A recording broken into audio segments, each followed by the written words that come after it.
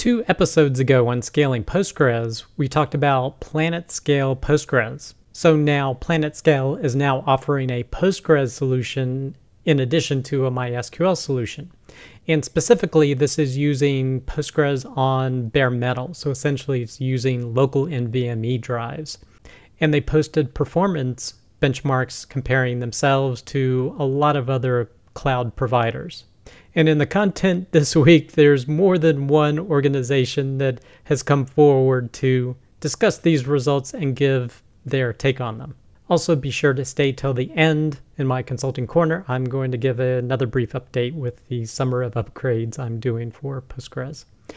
But I hope you, your friends, family, and coworkers continue to do well. Our first piece of content is reaction to the PlanetScale PostgreSQL benchmarks. This is from Xata.io.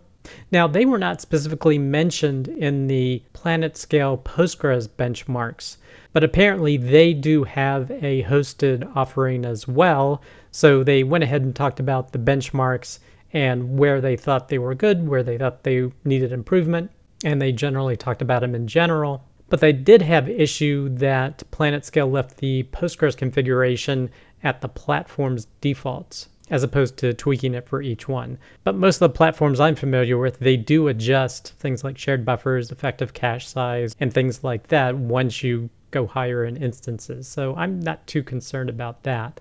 And they did emphasize the biggest negative when going with local NVMe drives on instances is that you can't just extend the storage. So if you do choose to go a local storage route, it's much easier to run out of disk in that case. Whereas if you're using AWS or any cloud provider, you can just say, hey, expand the volume size by another terabyte or something. But of course, they compared their Postgres solutions to the benchmarks. And of course, in their case, they came up on top as well, which is what you would expect. So basically, whenever a company does a benchmark, you'll usually probably see them at the top of the list. So take benchmarks with a grain of salt. Now, the next blog post still related to this is separation of storage and compute without a performance trade-off. This is from neon.com. And basically, they had issue with some of the PlanetScale benchmarks because they didn't implement their local file cache. Because, you know, they are separating compute from storage, so they are using a storage system, but in order to keep performance high, they implement a local file cache. And I think this was discussed in another blog post a few weeks ago in Scaling Postgres as well, that I think OrioleDB did, where they talked about the Neon architecture and they had, I think they call them page servers. And Neon did some benchmarks. And when you look at a local disk solution, you hit QPS of 18,000, a P99 latency of 330 milliseconds. If you use the Neon defaults, you hit QPS of 12,500 so definitely much lower than a local disk solution, and the P99 latency is around 600. So that's close to double what a local disk solution is. But if you implement their large LFC or local file cache, then the performance gets much better. It gets up to 17,000 QPS, so only 1,000 behind the local disk, and the P99 latency is 384 compared to 330 for the local disk. So much better performance. So basically, they're trying to indicate you can get local disk like performance if you add a large LFC to your Neon installation. And they also mentioned the fact that it's hard to expand the volumes when you're just dealing with a local disk solution. Now, kind of related to this, Neon also made an announcement this week about recent storage performance improvements at Neon. Again, I'm wondering if this was still triggered by the PlanetScale announcement but they talk about various enhancements like their sharded page server ingestion, adding compressed WAL transmission, faster safekeeper disk writes, so that's the WAL consumption, scan prefetches, more responsive L0 compaction, and this is to lower read latency during heavy ingestion, and parallel pipelined S3 uploads. So they've definitely been doing some engineering improvements. Although another post they released also this week is a recap on May June stability. So apparently they've had some stability issues with their platform, but the reason is because their platform is seeing a lot more use. So they had very recently new database creation increased more than 5x and the rate of branch creation increased more than 50x. So it's not to be unexpected, but when you have a very popular platform that's being used, you're probably going to have some growing pains. So this post, you know, basically talks about that. Next piece of content, there was another episode of Postgres FM last week. This one was on multigres. And Sugu, who actually designed or worked on Vitess and is now started on multigres, joined Nikolai and Michael to talk about the project. And basically, multigres is a Vitess for Postgres. So, to my thinking, it's a proxy of sorts that sits in front of your Postgres installation and does high availability, maybe some sharding, although sharding doesn't seem to be the primary purpose of it. But they talked about the benefits of local storage because with a multi-gres solution, it's not going to use a network attached storage layer necessarily. You could use local disks with it. But they're basically talking about a whole database cluster management where you can achieve five nines of availability, which is pretty impressive. And that's by having more smaller databases as opposed to really huge databases. He talked about looking to implement a consensus algorithm within multigres that is not necessarily Raft, but similar to Raft but designing it specifically to work in conjunction with Postgres's WAL records. Because ideally, he doesn't want to modify anything in Postgres. But he did say, I think there are a few patches that would have to be made, and they would work to basically get those done. They did also talk about a situation where synchronous replication doesn't necessarily 100% avoid data loss. And they were referencing this talk here called Myths and Truths About Synchronous Replication in PostgreSQL. But they were saying that, you know, multigres will work to try to ensure no data loss if a particular instance goes down. They also talked about the ability to support distributed materialized views that get updated automatically within the system, as well as talking about two phase commits and even talking about Postgres isolation. Now, I will warn you, this is probably their longest episode. I think it was over an hour and 20 minutes, but it is very interesting hearing about the plans coming for multigres. So if you want to do that, you can listen to the audio version of the show here or watch the YouTube video down here. Next piece of content, Oriole DB Beta 12 features and benchmarks. This is from orioledb.com. And this seems appropriate given all the benchmark talks in this episode and the one a few weeks ago. But OrioleDB continues to march forward with their different enhancements. Basically, they're changing the table access method from a heap storage engine to a newly designed one that's based on undo logs, essentially. And we've covered a lot of this in previous episodes of Scaling Postgres. But the interesting thing to me about Beta 12 is they had a set of benchmarks down here.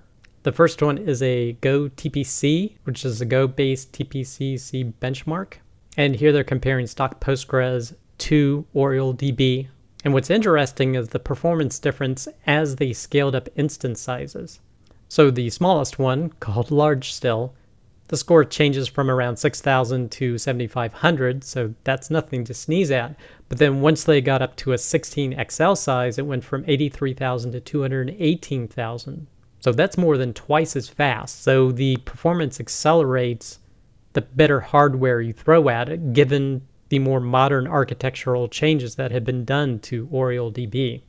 The next benchmark they looked at, Sysbench, it looks like they didn't increase the instance sizes here, but it looked like on average basically a doubling of their performance improvement. And then the third benchmarks was an OLTP, and this wasn't as significant so the Postgres heap averaged 32,000 queries per second, whereas OrioleDB averaged 37,000 queries per second.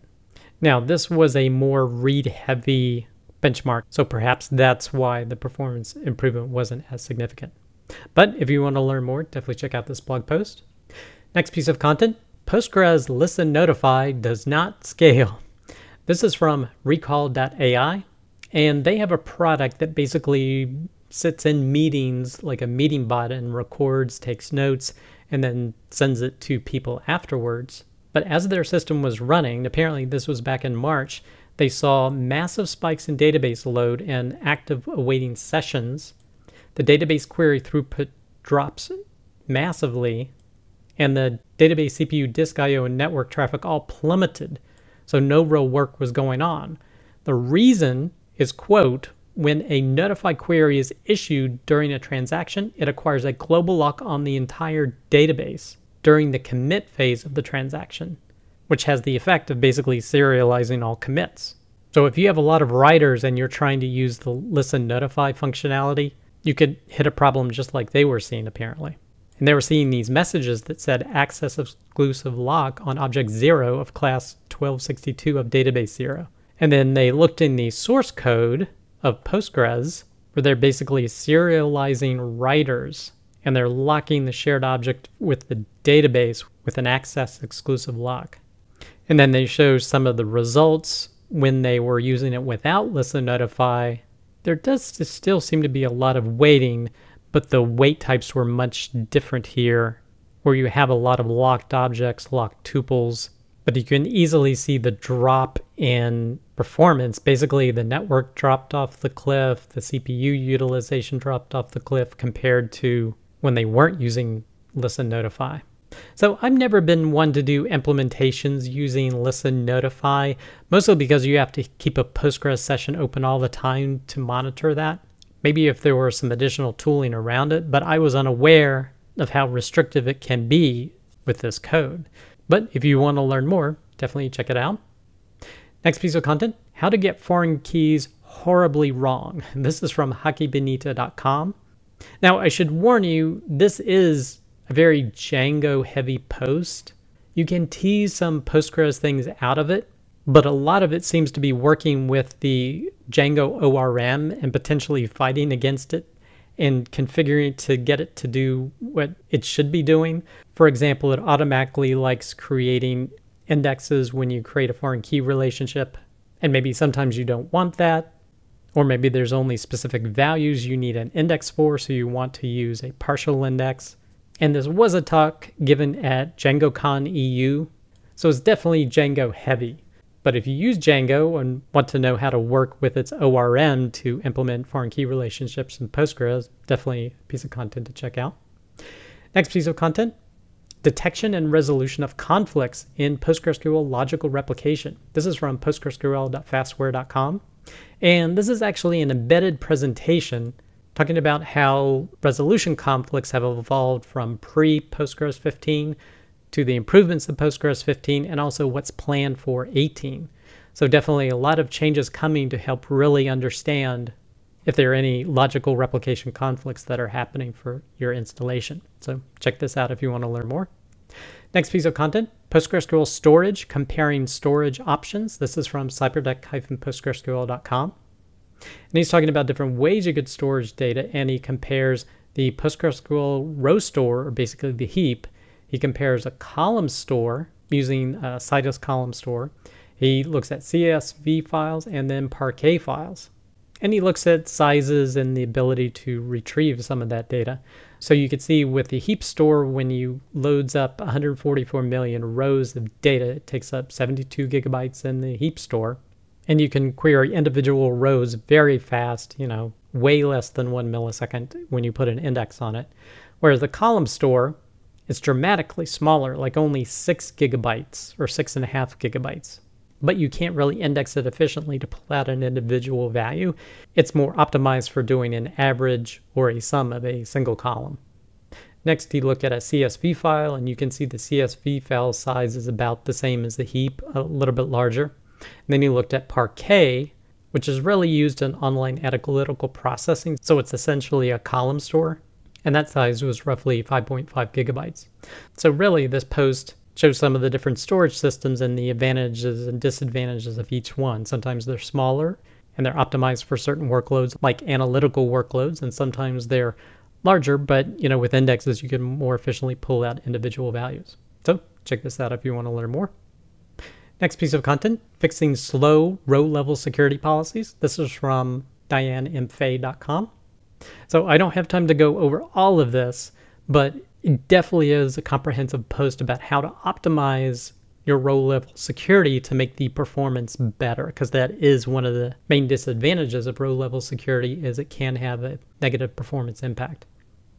And the last piece of content is another episode from the Talking Postgres podcast at talkingpostgres.com. This one is on how I got started leading database teams with Shireesh Thota, who apparently works at Microsoft on Azure databases. So definitely check this out if you want to learn more.